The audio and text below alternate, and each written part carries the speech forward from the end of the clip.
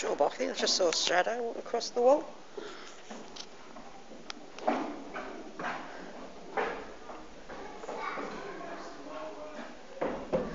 There's no one else in here, so me and you.